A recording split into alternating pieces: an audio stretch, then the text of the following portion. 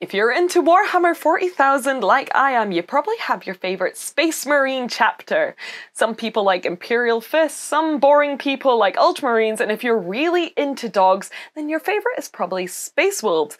But my favourite Space Marine chapter is a little bit different. I mean, it's not, it's, it's Ultramarines as well, surprise. Since I was a sprightly wee lass, I remember being obsessed with a very bright and colourful chapter steeped in mystery called the Rainbow Warriors. Woo. Whilst I don't have an army of Rainbow Warriors yet, I've essentially painted one in every single shape and size that I can find in the 40k universes. From really big McFarlane scale Space Marines, really small Old Hammer, to the teeny tiniest of epic scale Space Marines. If it exists, I've got a Rainbow Warrior in it. And in this video, I really want to share with you everything I love about the Rainbow Warriors from the corkboard-esque lore deep dives to the painting side of things. So hopefully you'll be inspired inspired to maybe join me on this really weird niche adventure that is loving Rainbow Warriors. So I think this video is going to be a little bit of a mishmash. Mishmash? Mismatch? this video is going to be a bit of a weird one. It's going to be part painting video and part me just spitballing some stuff about the lore that I just really find interesting. So let's get comfy, let's do some painting, and let me tell you about one of Warhammer 40,000's best kept secrets, the Rainbow Warriors. Rainbow Warriors.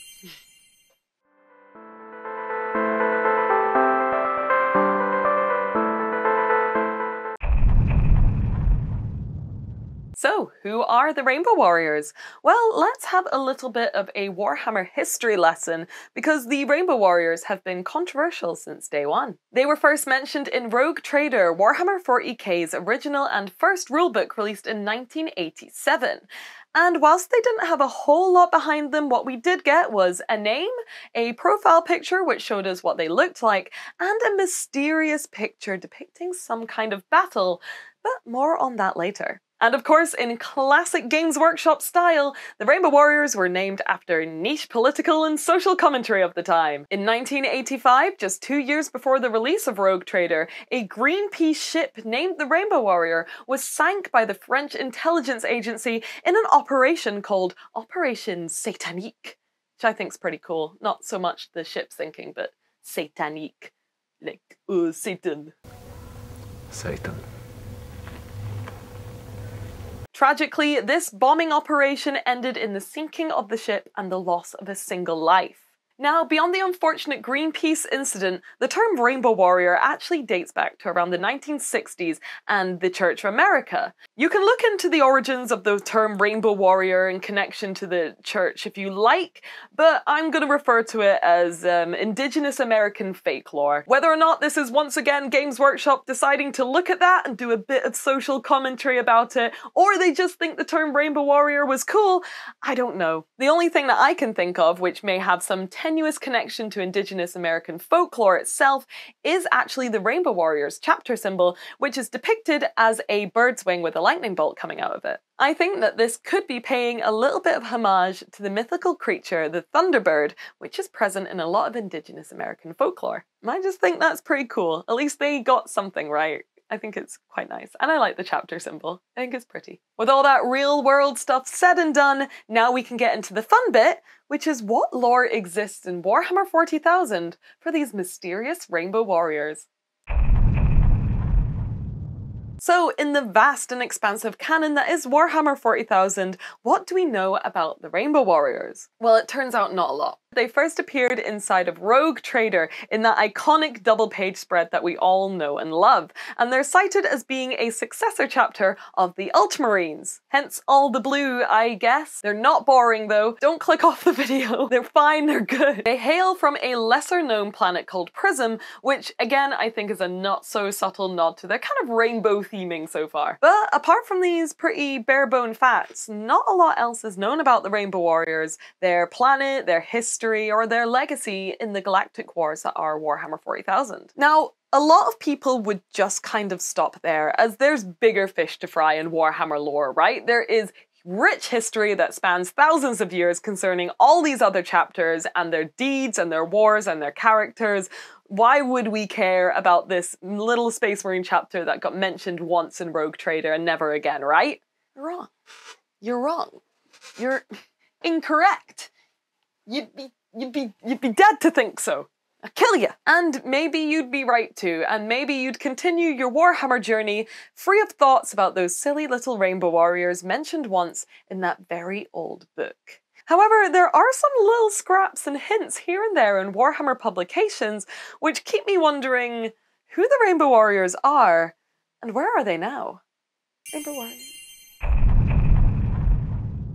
So I feel like I need to make a pretty big like crack lore warning right now because everything I'm about to say is totally my own speculation based on not a lot of evidence. I have a mad imagination and too much time to hyperfixate when I'm painting, so I come up with stuff like this. If you have your own theories about Rainbow Warriors, where they come from, or I've missed something really cool, please put it down in the comment section. I'd love to read it because I'm always trying to expand this crack lore into something a little bit more cohesive. Give me more of your crack lore. Give me that crack lore. Is YouTube gonna ban the word crack? Crack. Crack. Either way, tell me in the comments, let me know. Anyway, the first thing that kind of makes me go, huh, about the Rainbow Warriors is that bit of art I alluded to earlier, which is the one in Rogue Trader. It's actually one of the only pieces of in-world Rainbow Warrior art that we have, and it shows Brother Vermilion getting his face absolutely blasted off by one Sister Sin. Nice.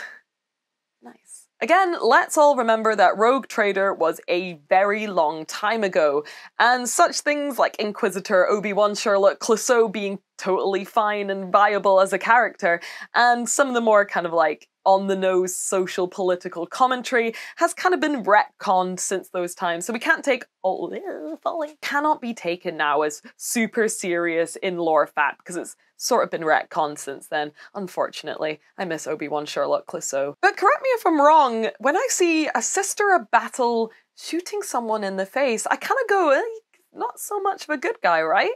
Like, he's a bad guy. Sister of Battles, they're the good guys, good guys, they're the good guys, the good guys. But I thought that the Rainbow Warriors were the proud sons of Guilliman, Ultramarines themselves, the goodest of the good guys. Well, perhaps not. And one piece of evidence which I like to look at, which may point in the direction of them not just being sunshine and rainbows, is this map here. What you see here is the homeworld of the Rainbow Warriors Prism, but underneath it there is something interesting, a big fat record deleted. We love to see it. We just love to see it. Fills my heart with joy. Due to these in-world things like maps and documents usually being written from the point of view of those working within the Imperium under the godly light of the Emperor himself, we see things like record deleted and in our heads we know that that is a big red flag that maybe these guys ain't such good guys after all. This kind of thing reminds me of everyone's favourite Warhammer 40,000 mystery, the redacted Primarchs and their mysterious legions. They're gone from history because we're not supposed to see them. But why? What did Brother Vermilion and his group of Technicolor dreamboats do? In the same way that I think a lot of really good and effective horror, sci-fi and weird fiction is written, and similarly to how I think that the hidden Primarchs and their mysterious legions are written into the Warhammer 40,000 lore, I think that this answer is entirely up to you, the reader or the viewer. However, I do want to bring up just another thing which makes me a little bit suspicious. I want to draw your attention to this transfer sheet. This transfer sheet made for the game system Aeronautica came out a couple of years ago, and it includes a very mysterious chapter symbol. This chapter, however, isn't cited as being Rainbow Warriors, no no. They're the Deathstrike Marines. Now, you may be wondering, who are the Deathstrike Marines? Oh, they look a bit familiar, don't they? The Deathstrike Marines are a successor chapter of the Imperial Fists, which bear a striking resemblance to our Rainbow Warriors. And to add mystery to conspiracy, they are cited as having a grudge against the Ultramarines for them destroying one of their brother chapters. So another Space Marine chapter who share an almost identical color scheme, chapter symbol, and even heraldry to the Rainbow Warriors, who are cited as bearing a grudge against the very chapter the Rainbow Warriors come from because of a mysterious disappearance of their brother chapter. With all this in mind, perhaps the Rainbow Warriors didn't simply disappear. Another big crack lore warning, by the way. Through all the horrible and excruciating agonies that the Imperium of mankind and its people have had to endure, it doesn't seem outside of the realm of possibility that its super soldiers would be repurposed and perhaps recycled. What if there was a way to wipe the memories of these smaller chapters which had perhaps started to show some warning signs and turn them into something else completely and someone else completely? We can start to imagine the Rainbow Warriors as these memoryless husks who are rebuilt to suit the needs of whatever chapter wants them or perhaps bids the most to have them. They would live in this kind of state of disarray, being unsure of who they were, their history, and what the future held for them. This is a theory which I've seen floated around in some very small circles online, and whilst it doesn't 100% line up to what I like to think about Rainbow Warriors, I still think it's super, super cool. I do, however, think that when it comes to the Rainbow Warriors, there is a lot of confusion and uncertainty attached to what remains of a human soul and that would definitely attract the attention of certain powers which reside in the warp. Perhaps you've already jumped the lore canyon and come to this conclusion yourself, but in my head, it is not too far a stretch to connect the Rainbow Warriors to Chaos, and in particular, the forces of Tzeentch. Now, sure, I'm pretty biased when it comes to Tzeentch and its themes of like rainbows and crystals and bright colors and light, but I can totally see how you could make this work for the Rainbow Warriors. When I'm painting my own Tzeentch miniatures or imagining the realm of Tzeentch in general, I tend to sway towards these bright, magical colors, always shifting, always changing, very prismatic, very crystalline, and this is all backed up in the Tzeentch lore. This is lore accurate Tzeentch. I imagine it to be impossible, changing, bright colours all the time. Wonderful. Which brings me on to what is definitely my favourite piece of Rainbow Warrior lore. Rainbow Warrior lore. It's a small passage which comes from a short story called War in the Museum written by Robert Rath, and in it it's revealed that Trazyn the Infinite, everyone's favourite Necron, has in his vast collection a Rainbow Warrior, because of course he does. Trazyn took them lower, and they saw strange plasma discharges, sun-bright bolts dancing across the spectrum of colours, matching the vertical stripes on the Space Marine's helms. A captain raised a crystalline power sword that shimmered with the iridescence of an oil slick.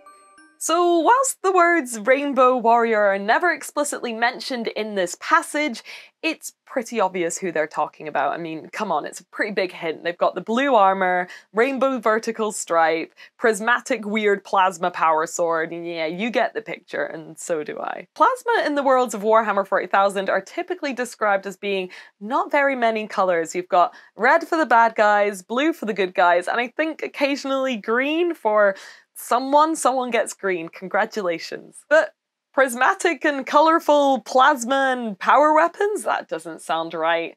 That doesn't sound very ultramarine at all. It doesn't sound very kosher, does it? Well, no, and there may actually be a reason for that. Throughout this period, the majority of the Thousand Sons Legion was lost to the galaxy, and their fate would not be known until some time later. Nevertheless, rumors lingered of smaller groups fighting across the Imperium at locations as far-flung as Prism, Cabal, Logan's World, and Yamnen, seemingly on both sides of the Loyalist-Traitor divide, and frequently in the company of other orphaned forces, including Black Shield's elements. What we just read there was part of the Horus Heresy book Retribution, and isn't that interesting? Now, mentions and references of the planet Prism are pretty rare, which makes me believe that anything that is mentioned in the lore is done on purpose and for a reason. And given Rainbow Warriors' love for crystalline colours, their affiliation with bright blue armour, and their mysterious background, one could possibly come to the conclusion that the Rainbow Warriors are descendants from Loyalist Thousand Sons. So, whether you think the Rainbow Warriors stayed loyal until the end, got rebranded into a more Imperium friendly chapter, or merely got blasted off the face of the universe for their misdeeds, their lore is entirely up to you, as many good things in Warhammer are. And with that all said and done, you are now as caught up on Rainbow Warrior lore as I am. Um, again, I don't think I know everything about Rainbow Warriors, and I'm really interested to read your comments on this video. I've been starved for comments for too long and I'm really interested to see what you have to say. Do you have your own Rainbow Warrior lore? Have you heard something I've said that's inspired you to think up something that maybe I missed or or anything like that? Please put it in the comments so I can read it. But until then, let's have a little look at the miniature I've been painting to go alongside this video because as well as being very excited to talk about Rainbow Warriors, I'm also very excited to show you how I love to paint them, because it's a little bit different from how the source material maybe portrays them. Sue me, I don't care, I love them. Also, I want to make it very clear that I've not been painting this whilst I've been talking to you. That would be silly.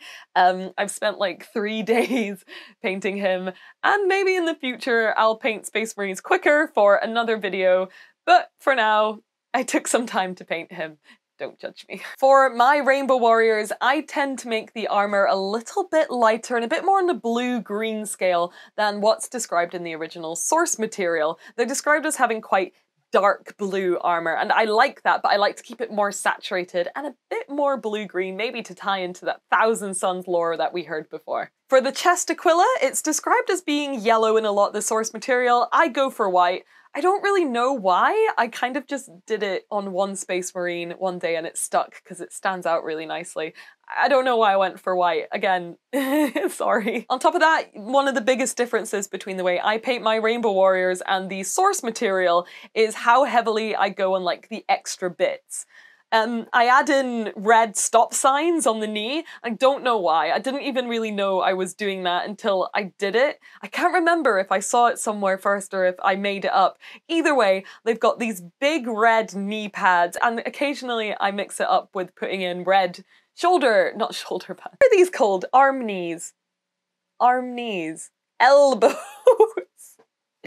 elbows. I like to give them these big red stop signs on their knees and also occasionally on their elbow pads as well. Sometimes I mix it up and I'll just do one elbow pad as red, sometimes I give it the stripe, sometimes I don't. I like to mix it up as some kind of like chapter heraldry, something or other. I can make up something for that later, such as homebrew, I guess. The other main way that I differentiate maybe from the source material and other people painting Rainbow Warriors is that I like to put that big rainbow on their legs as well. And I think this is a bit of a taboo in Space Marine heraldry rules. I don't really know. I should know. but I like to put that stripe on their legs as well, just to tie it in on that area and a little bit on his backpack as well. But apart from that, I say apart from that, there's quite a few differences, but that's just the way I like to paint them. I think they're really pretty. On top of all those kind of heraldry things, something I love doing is adding a load of rogue tradery flourishes to the miniature. Things like tally marks, poorly spelled words like kill and murder, kind of free-handed all over their armor, as well as things like checkers. It, it just makes it look really old school, and I love to kind of put those things all over my Rainbow Warriors to kind of date them a bit and bring them back to that old source material. Another thing that I really enjoy painting painting when I'm painting Space Marines is their weapons, but unfortunately I kind of struggled with his plasma weapon. I really wanted to do the otherworldly, multicolored plasma described in War at the Museum, and I really wanted to blend the plasma into a few colors. I tried to do like purple into pink because those are not commonly seen in plasma, so I thought they'd be great starts, but it didn't really work out. I switched it to pink and repainted the gun in the end, and I quite like where it ended up. But eventually one day I'd really love to try out doing a lore accurate plasma rainbow warrior weapon where it's a real blend of colors really bright a super like bright rainbow plasma. I'm really excited to do that. Maybe that'll be another video one day but not today. I am, however, quite pleased with how his power weapon turned out, his big sword. I really tried hard to kind of reference the source material with that oil slick S sword, and I really like the lighter colours that I used as well. I think it looks like a prismatic crystal weapon, which is exactly what I wanted. I'm really excited to show you how I did that. So, as always with Space Marines, you have a few choices on how you want the end result to look, and you could absolutely leave your Rainbow Warrior here. He looks quite clean and parade ready, all that free handing and stuff hasn't been chipped into it all, but you know me, I'm a girl that likes a dirty space marine. I like my battle boys to look like they've seen some battle, I don't know. So what I'm gonna do here is just add a couple last finishing touches, like some dirty drips using Rhinox hide, some little chips here and there, highlight those chips with a little bit of a lighter color to make them really pop and to make the Space Marine look like he's seen a little bit of war. And what is not optional, in my opinion, is of course the Goblin Green base. I absolutely love Goblin Green bases. And, um, you know, base your miniature however you want to make you happy. But what makes me happy is a Goblin Green miniature. Maybe it's not the best choice for this miniature. Maybe he would look cooler if I put him on some stone with some crystals. I don't know. I um I just really love a goblin green base and honestly my serotonin is my top priority right now. So this video has mostly been a lore video and less so a painting video, but I have filmed painting this miniature start to finish and I'm really excited, like I said, to show you how I painted him and maybe to encourage you to paint your own. So if you want to see how I painted this miniature start to finish in full, I'm gonna put that tutorial on my Patreon. And yeah, I'd be really excited if you checked it out and followed it and then showed me your Rainbow Warriors. I'd love to see them. On my Patreon, you'll also find other really fun painting content and you'll also get to see some of my videos earlier than everyone else so you can point out how how much of a goober I am ahead of everyone else on YouTube who doesn't want early access to calling me a goober. Who doesn't want that? And that's it for this video. I really hope you enjoyed it and thank you for being rogues. I'll see you in the next one. Bye!